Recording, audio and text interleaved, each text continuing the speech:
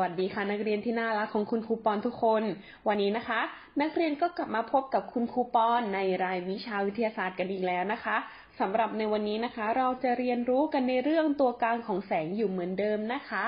แต่ก่อนที่เราจะไปเริ่มเรียนรู้กันนะคะ คุณครูจะขอทบทวนก่อนนะคะว่าในคลิปวิดีโอที่แล้วเนี่ยนักเรียนได้เรียนรู้อะไรกันไปบ้างเอ่ยอันนี้นักเรียนจำได้ไหมคะว่าคืออะไร ถูกต้องแล้วค่ะ คือแผ่นไม้นั่นเอง แล้วเมื่อเรานำแผ่นไม้ไปตั้งขวางด้านหน้ากระบอกไฟฉายเกิดอะไรขึ้นคะ ถูกต้องแล้วค่ะ จากการที่สังเกตนักเรียนก็จะเห็นใช่ไหมคะว่า แสงจากกระบอกไฟฉายเนี่ย ไม่ทะลุผ่านแผ่นไม้เลย และนี่คือกระจกใส เมื่อเรานำกระจกใสไปตั้งขวางกระบอกไฟฉายเป็นอย่างไรบ้างคะ ถูกต้องแล้วค่ะ เราสามารถเห็นแสงอย่างชัดเจนใช่ไหมคะและอันนี้คือกระจกเงา เป็นอย่างไรคะ เมื่อนำกระจกเงาไปตั้งด้านหน้ากระบอกไฟฉาย ไม่สามารถเห็นแสงทะลุผ่านได้เลยใช่ไหมคะ และอันนี้คือแว่นกันแดด เป็นอย่างไรคะ เมื่อนำแว่นกันแดดไปตั้งไว้ที่ด้านหน้ากระบอกไฟฉาย เห็นแสงทะลุผ่านใช่ไหมคะ แต่เห็นไม่ชัดเจนถูกต้องไหม เก่งมาก และอันนี้คือถุงพลาสติกหูหิ้ว เป็นอย่างไรคะ เมื่อนักเรียนสังเกตเห็นตอนที่เรานำถุงพลาสติกหูหิ้วไปตั้งขวางกระบอกไฟฉาย ถูกต้องค่ะ เห็นแสงนะคะ แต่เห็นไม่ชัดเจนใช่ไหมคะ และอันนี้คือกระดาษแข็งสีเป็นอย่างไรคะ เมื่อนักเรียนนำไปตั้งด้านหน้ากระบอกไฟฉาย ไม่สามารถเห็นแสงส่องผ่านเลยใช่ไหมคะ และสุดท้ายคือกระดาษไข เป็นอย่างไรบ้างคะ เมื่อเรานำกระดาษไขไปตั้งด้านหน้ากระบอกไฟฉาย อืม สามารถเห็นแสงแต่เห็นแสงที่ไม่ชัดเจนใช่ไหมคะ จุดประสงค์และตัวชี้วัดการเรียนรู้ในชั่วโมงนี้นะคะ ในคลิปวิดีโอนี้คุณครูนะคะต้องการให้นักเรียนสามารถจำแนก วัตถุเป็นวัตถุโปร่งใส วัต ตัวกลางโปร่งแสง และวัตถุทึบแสงได้นั่นเอง อันดับแรกนะคะ ให้นักเรียนนะคะทำการสแกน QR code ด้านล่างนะคะ เพื่อทำการดาวน์โหลดใบความรู้นะคะ และคุณครูนะคะจะให้เวลานักเรียนนะคะ ในการอ่านใบความรู้ 2 นาทีด้วยกันนะคะและเมื่อนักเรียนนะคะทำการอ่านเสร็จเรียบร้อยแล้วนะคะ นักเรียนสามารถกดเล่น play วิดีโอนะคะ เพื่อ ดำเนินคลิปต่อไปได้เลยค่ะ นักเรียนก็คงจะอ่านเสร็จเรียบร้อยแล้วใช่ไหมคะ งั้นเราไปกันต่อเลยนะคะ งั้นคุณครูขอสรุปนะคะ ตัวกลางของแสงง่าย ๆนะคะ ให้นักเรียนเข้าใจนะคะ ตัวกลางของแสงนะคะ คือแสงเนี่ยจะเดินทางเป็นแนวเส้นตรง ออกจากแหล่งกำเนิดแสงทุกทิศทาง แสงจะเคลื่อนที่ผ่านอากาศหรือเคลื่อนที่ผ่านสิ่งต่างๆนะคะ เราจะเรียกสิ่งนั้นเนี่ยว่าตัวกลางนั่นเอง ยกตัวอย่างเช่น แสงจากกระบอกไฟฉายของนักเรียนนะคะ ที่นักเรียนทำการทดลองนะคะ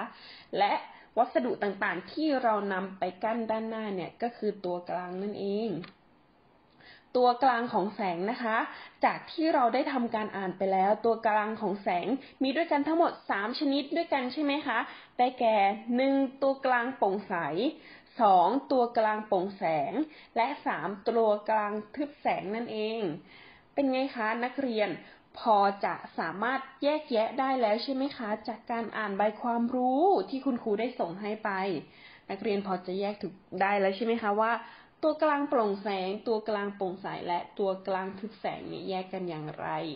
ตัวกลางโปร่งแสงก็อย่างเช่น แก้วน้ำใสนะคะ ที่คุณครูนำมาให้ดูเป็นตัวอย่างนะคะ ตัวกลางโปร่งแสงก็อย่างเช่น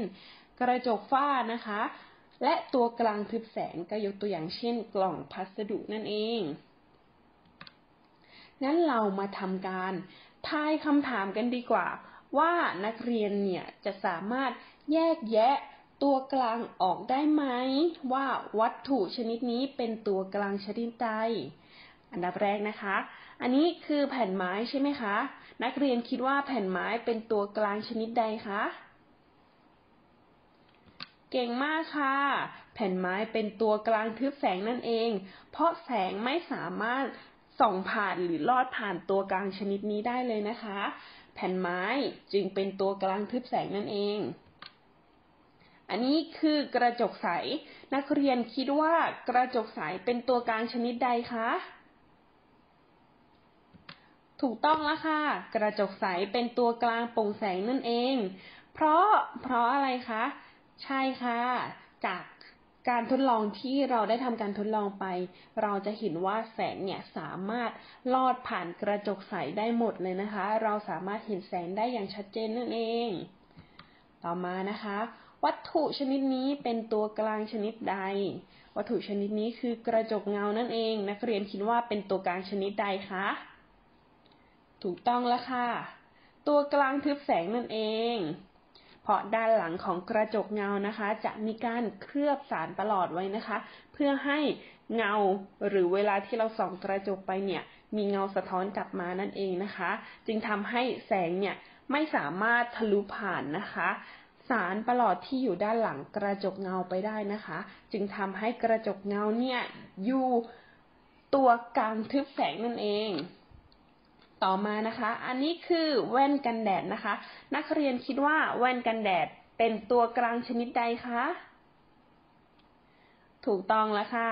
แว่นกันแดดนะคะ เป็นตัวกลางโปร่งแสงนั่นเอง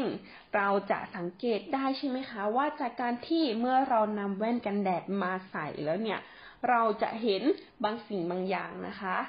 ชัดหรือว่าไม่ชัดมากขึ้นนะคะ และเมื่อเรามองไปที่ดวงอาทิตย์เนี่ย เราจะรู้สึกสบายตามากขึ้นกว่ามองที่ด้วยตาเปล่าใช่ไหมคะ เพราะแว่นกันแดดเนี่ยตัวเลนนะคะ เป็นตัวกลางโปร่งแสงนั่นเอง ต่อมานะคะ นี่คือถุงพลาสติกหูหิ้ว นักเรียนคิดว่าถุงพลาสติกหูหิ้วเป็นตัวกลางชนิดใดคะ ถูกต้องแล้วค่ะถุงพลาสติกหูหิ้วเป็นตัวกลางโปร่งแสงนั่นเอง จากการทำการทดลองเราก็จะเห็นใช่ไหมคะว่า แสงเนี่ยเราสามารถเห็นนะคะ แต่มองเห็นไม่ชัดนั่นเอง และวัตถุชนิดนี้เป็นตัวกลางชนิดใดคะถูกต้องแล้วค่ะ เป็นตัวกลางทึบแสงนั่นเอง เพราะจากการทดลองนักเรียนก็จะเห็นใช่ไหมคะว่า สงเนี่ยไม่สามารถทะลุหรือส่องผ่านกระดาษแข็งได้เลยนะคะ วัตถุชนิดนี้เป็นตัวกลางชนิดใดคะ อันนี้คือกระดาษไขนั่นเอง ถูกต้องแล้วค่ะ เป็นตัวกลางโปร่งแสงนั่นเอง เพราะจากการทดลองเราก็เห็นแล้วใช่ไหมคะว่าเราสามารถเห็นแสงนะคะ แต่เห็นแสงไม่ชัดเจน เพราะฉะนั้นกระดาษไขก็จัดเป็นตัวกลางโปร่งแสงนะคะ งั้นคุณครูขอสรุปเลยนะคะ แสงเดินทางเป็นแนวเส้นตรง ออกจากแหล่งกำเนิดแสงทุกทิศทาง แสงจะเคลื่อนที่ผ่านอากาศ หรือเคลื่อนที่ผ่านสิ่งต่างๆ เราเรียกว่าตัวกลาง และเมื่อมองสิ่งต่างๆ โดยมีวัตถุต่างชนิดมากั้น จะทำให้มองเห็นสิ่งต่างๆ ได้ต่างกัน จึงสามารถจำแนกตัวกลางของแสงได้เป็นสามชนิด คือหนึ่งตัวกลางโปร่งใส สองตัวกลางโปร่งแสง และสามตัวกลางทึบแสง ก็จบกันไปแล้วนะคะสำหรับการเรียนรู้ในเรื่องตัวกลางของแสง วันนี้นะคะ เราก็ได้เรียนรู้ไปแล้วว่าตัวกลางของแสงมีอะไรบ้างนะคะ นักเรียนก็คงพอจะจำแนกได้แล้วสำหรับวันนี้นะคะ คุณครูก็มีกิจกรรมนะคะ ให้นักเรียนถ่ายรูปวัตถุนะคะ มาหนึ่งชนิด พร้อมระบุนะคะว่าเป็นตัวกลางชนิดใดให้นักเรียนนะคะ ส่งมาที่ห้องเรียนวิทยาศาสตร์ของเราด้วยนะคะ อย่าลืมเขียนชื่อนามสกุลชั้นเลขที่ให้เรียบเรียบเรียบร้อยนะคะ ค่ะสำหรับวันนี้คุณครูก็ขอตัวลา